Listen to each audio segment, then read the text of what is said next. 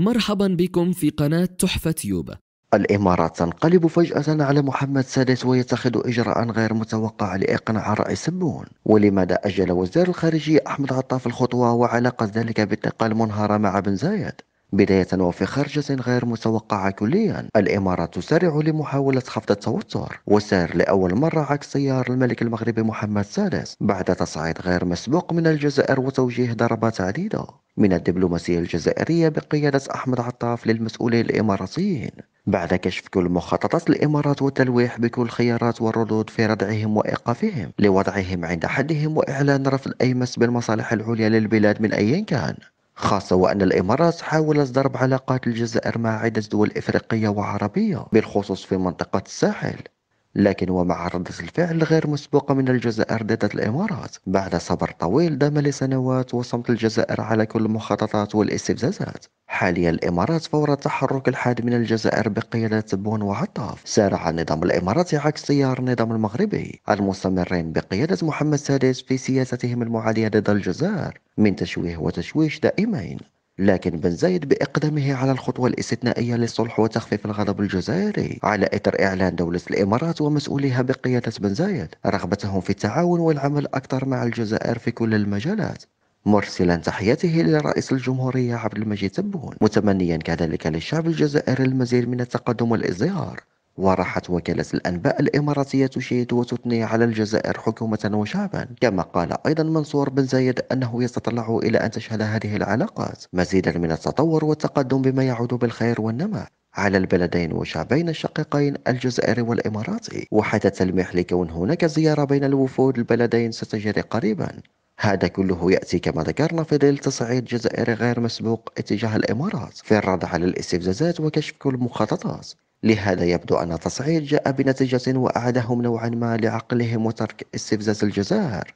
كما يبدو أن بن زايد حاليا لا يريد أن تصعد ضده الجزائر خاصة وأنها أهم دولة في المنطقة. وإذا وضعته الجزائر كعقبة في طريقها وجب إزالتها في المنطقة. ذلك لن يخدمه ويضر به كثيرا مع تأييد الدول الذي تحظى به الجزائر. كما أن الوزير أحمد عطاف كان نادى بكل المخططات والتشويشات والتشويهات من دول عدة ضد الجزائر. أما بخطوة الإمارات الغير مسبوقة حاليا يقول مراقبون أن الجزائر ستتريد أكثر وتراقب بدقة في المرحلة المقبلة. كل تحركات الإمارات وتقيمها إن كانت فعلا ستتراجع عن كل مخططاتها وأفعالها ضد الجزائر أو لا قبل أي قبول لصلح مباشر واستمرار للعلاقات. الصلح بين الجزائر وإسبانيا يدفع ملك المغرب لتهور مفاجئ وغير متوقع وهذا ما فعله وتفاصيل ردة فعل الرئيس تبون وسانشيز عليه. بداية الرئيس تبون ورئيس حكومة إسبانيا يخلطان حسابات الملك المغربي محمد السادس ويدفعانه للتهور وبدأ الأخير يهاجمهما ويحاول الضغط لإفشال الصلح حيث ضج الإعلام الإسباني بأخبار كثيرة منتقدة للنظام المغربي وطالبوا حكومة بلادهم بتصدي لمحاولة محمد السادس إفشال الصلح مع الجزائر أين لجأ للضغط؟ بورقة إغراق إسبانيا بالمهاجرين عبر الحدود المشتركة وتحديدا في مدينتي سبسة ومليليا المحتلتين من طرف إسبانيا وتقعان على الأراضي المغربية كما هو معلوم. حيث فتح المغرب كل المعابر أمام المهاجرين الذين يحاولون دائما اجتياز تلك المدن. لدخول إسبانيا عبر نقاط سهلة وكثيرة ما جعل الآلاف يدخلون دون أن يعترضهم نظام محمد السادس كما في السابق. وهو الذي كان قبل سنوات استفز وحاول الضغط على إسبانيا بنفس الطريقة أما الآن فبسبب تغيير إسبانيا لمواقفها وتنفيذها لكل شروط الجزائر وسانشيز يعتذر من الرئيس سبون بخطوات عملية مذهلة وقام بتسريع تصحيح كل أخطائه مع الجزائر حتى يرفع الرئيس سبون كل العقوبات السابقة التي فرضها على إسبانيا خاصة اتفاقية الصداقة وحسن الجوار ومنع كل المنتجات الإسبانية. إسبانيا قررت التصدي لكل الضغوطات الذي يمارسها محمد السادس عليهم مؤكدين أنه لا تراجع عن مصلحتهم مع الجزائر وصلحهم وتصحيح كل الأخطاء ولعلمهم بمدى أهمية الجزائر الكبيرة لهم بدل النظام المغربي. آخرها الموقف المدهش لإسبانيا من الأحداث في القطاع لإيقافها. وكذا الموقف من القضية الصحراوية وغيرها الكثير من التطورات. كل تلك الخرجات الإسبانية جعلت غضب الرئيس تبون يتلاشى ويقبل الصلح مع إسبانيا.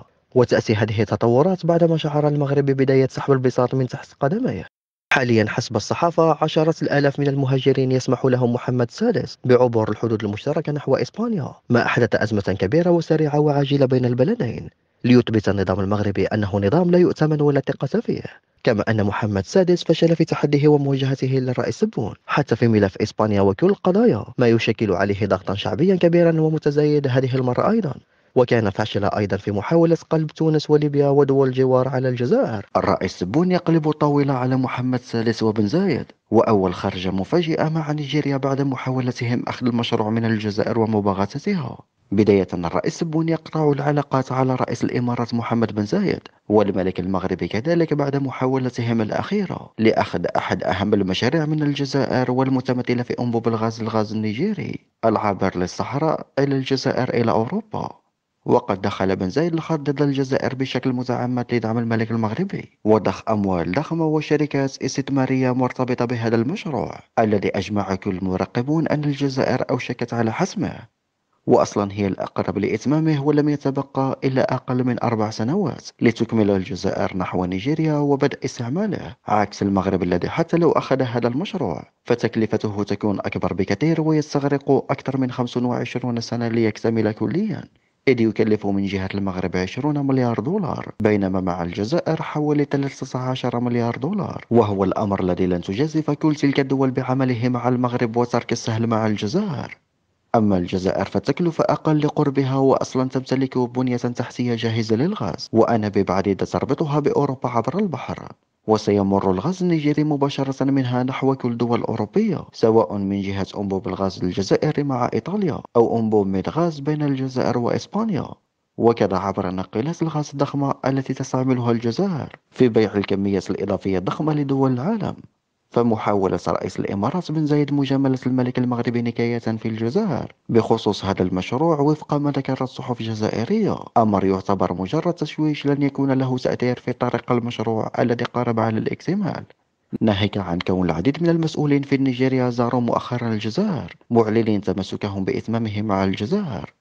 وأعطى تصريح حديث لرئيس البنك الإفريقي للتنمية. قال فيه أنه يدعم مشروع الجزائر. الانطباع بأن الهيئة المالية الإفريقية رجحت كف الجس الجزائر.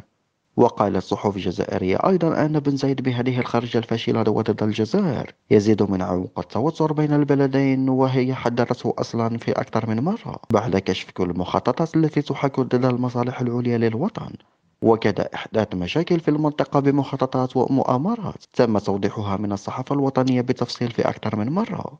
فالعلاقات تسير للمجهول وغير واضح مسارها نهائيا معها.